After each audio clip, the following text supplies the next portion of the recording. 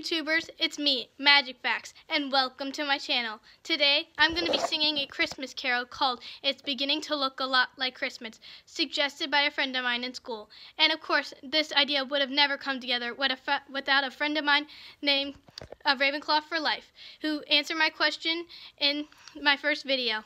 Let's begin.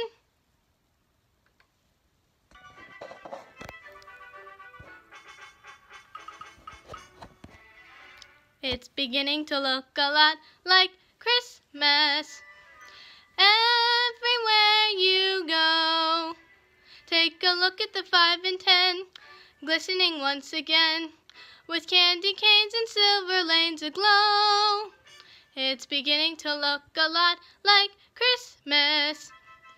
Toys prettiest sight to see is the holly that will be on your own front door. A pair of hop-along boots and a pistol that shoots is a wish for Barney and Ben. Dolls that will talk and go for a walk is a hope for Janice and Jen.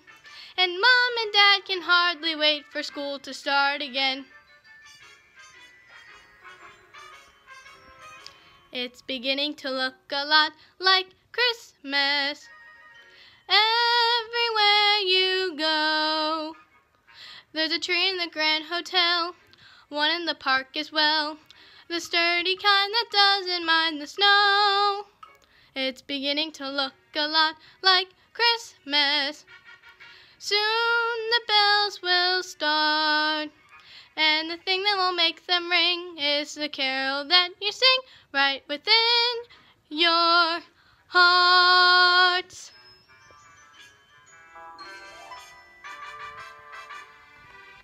Well, I hoped you joined the song. And of course, before signing off, I can't ask I can't leave without asking you a question. Today's question is, how many reindeer are mentioned in Rudolph the Red-Nosed Reindeer?